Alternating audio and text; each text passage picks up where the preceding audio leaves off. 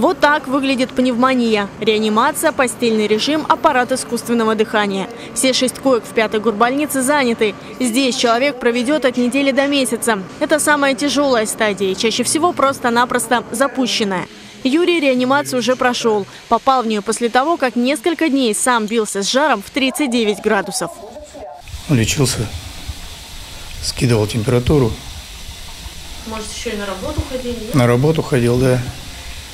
Но потом стало хуже, поехали с женой в больницу. Просто поднялась высокая температура, и потихоньку началось болевые ощущения. То есть стало трудно дышать, и очень было больно справа.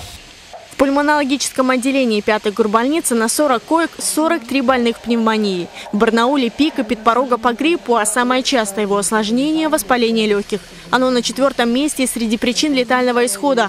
Но сколько бы об этом ни говорили, люди все равно самонадеянно лечатся дома. Или, как говорят пациенты, добиваются от врачей направления на флюорографию. А за это время воспаляются легкие, там скапливается жидкость, трудно дышать. Помогают кислородные маски. Сейчас дыхание затруднено, а кислород помогает облегчить, то есть через бронхи проходит больше кислорода и, соответственно, очищается. Ну и вам, наверное, дышать легче. Конечно, как становится трудно дышать, я одеваю, использую.